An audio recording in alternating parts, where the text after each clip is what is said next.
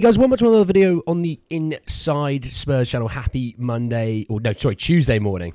Because of that bank holiday, I'm now thinking it's Monday. I hope you are, well, hope that looking forward to a good week, whatever it is that you're up to this week. Obviously, um, there's only a couple more games really of club football this week. Got the Conference League tomorrow. I think it's tomorrow. And obviously Saturday's Champions League final, uh, Dortmund, Real Madrid. So still a couple of games of football left before we get to uh, international football this summer. But talking of some international footballers, look at that transition. That's outrageous.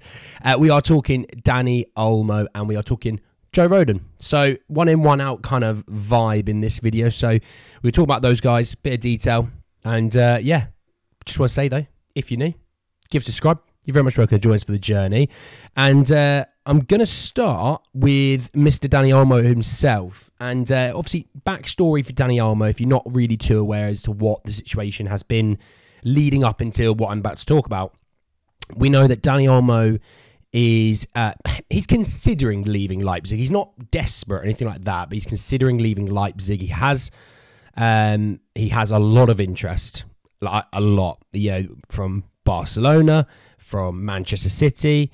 Um, I think even I've seen like your Bayern Munichs and stuff like that being keen on him. So you're gonna see there's there's people of interest, uh, sorry, teams of interest for Dani Olmo. So Cameron Sport, who said that, and this is I find this I, am gonna laugh about this, and you will, but we'll, we'll we'll get through it anyway. But Barcelona considers Spurs rivals in their attempt to sign, Dani Olmo. The midfielder is happy at RB Leipzig and will only consider a transfer for a project he deems exciting. Um, where are where are Barcelona getting that money from? Because this is a guy that he's not going to cost you know 5, 10, 15 minutes. It's going to guy that's going to cost around sixty, give or take, right? Before someone cries, actually, it's going to be sixty-one. Andrew, oh, right, okay, yeah, cheers. Um, I, I don't know where they're getting that money from. I really don't. Um, uh, is it down the back of the sofa? Is it in their little piggy bank and they've got to break it open? Barcelona are broke. They've not got that kind of money to be spending. They're in that kind of debt.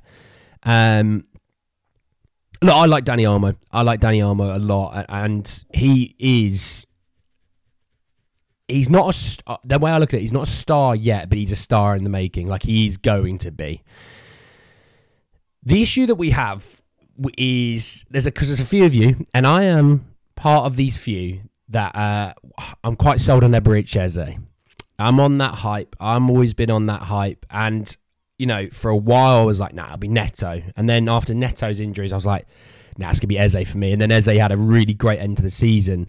And then Dani Olmo popped up and I was like, oh, I can't keep switching. I've got to be loyal at some point. And I've always said, if we wind up with a Dani Olmo and not an Eze, I won't be upset. It's not to say Eze's rubbish, and it's not to say that Olmo is levels above him. What I'm saying is, we need them. We need these sort of players. Both are very solid. Both would make us better. The way you know, I always look at it. Does he make us better? Yes. Does it make us considerably better? Considerably better. Yes. This is one of those. And and Eze is the same. Would they make us better? Yes. And considerably? Yes. Absolutely. There's no doubt about it. Um, you know, but you're not signing both as much as you and I can sit here and we can say Spurs can spend X, we sell this, we could spend X. It's not going to happen. So as much as I sit here and I, and I always go, well, this is exciting, oh, and that's exciting, I always kind of go in with the mindset of, as much as it is, is it realistic to what we should expect? Signing one can be, signing both is not. That's just, you know, you're living in you're living in cuckoo land, as Mr. Roy Keane would say. So I like Olmo. Would he make us better? Yes. Would he make us considerably better? Yes. Will it happen? I don't know.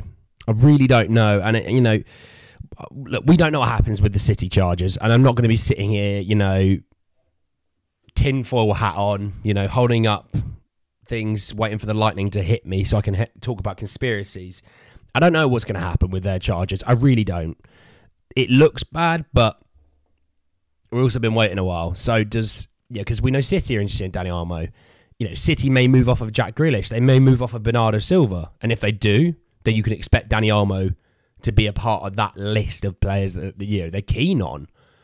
For Barca, Barca are going to be Barca are one of those teams that will go, look, we really like your player. and you go, "Oh, okay, yeah, yeah. Oh, you're gonna buy him, And they're like, "You're like, they're like, we are," and, and you're like, "Oh, lovely, nice." And they go, "Can you give us three months?" And you're like, uh, "Well, I need to replace him." And there's only three months left of the window, so I don't. Can you not do any earlier? They're like, "Oh, all right." Just under three months, and you're like, "No, what?" it's because they can't do it. They can't afford it for their financial fair play. They have to move money around, and yeah, it's not. Yeah. So if we want Olmo and we want to fight Barca, you want to be out the gates quick because they can't handle that kind of pace. Right. I want to talk about Joe Rodon, and um, Joe on loan at Leeds, obviously losing uh, on Sunday in the Championship playoff final, one 0 to Southampton. So, congrats, obviously, to Southampton and Kyle Walker Peters coming up.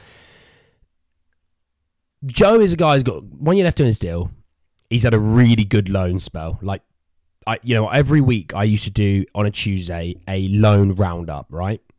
And I normally started with Joe Rodon because he had the best week. And it was like nine times out of 10, I started with Joe Rodon because he had such a good week.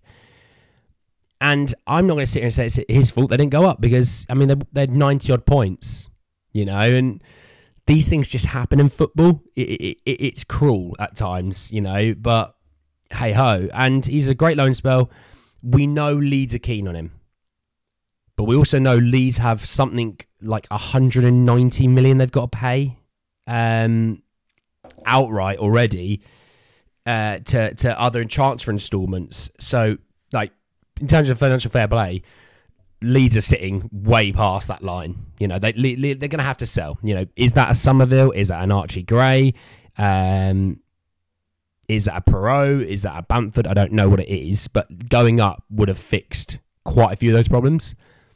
Staying in the championship isn't helping those problems. It's, it's probably making it just as bad as it could be. So with Joe Rodon, I don't actually see him at Leeds unless they can fluke their way around some things, you know, get loads of sales in. But I don't see him staying at Leeds. I see what this report says. It came from Mail Sport, who said that Premier League clubs are monitoring the situation of Spurs' defender Joe Rodon following impressive loan spell at Leeds United. And I always said, if Leeds United weren't the team that were going to buy him, you know, let's say they didn't come up, which this is what the situation is we're in now, that I would expect teams who have come up or who are you know not like a top team in the Premier League, but you know somewhere between that mid-table downwards.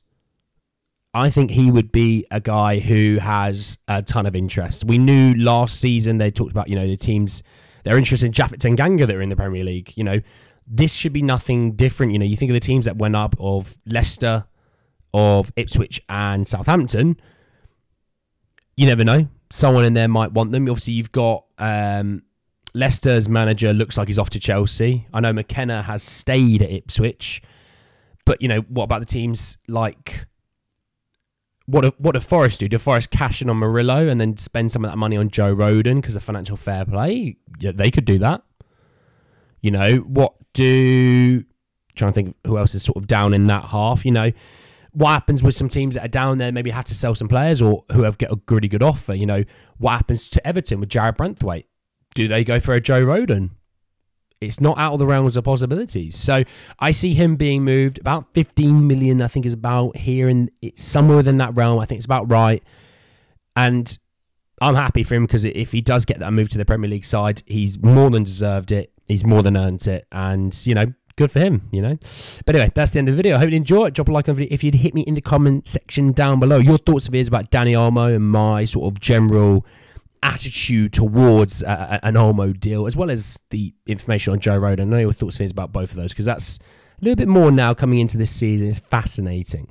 Obviously, subscribe to the channel if you're new and hit the bell notification for more. But anyway, guys, end of the video. I'll see you all very, very soon. Take care, guys.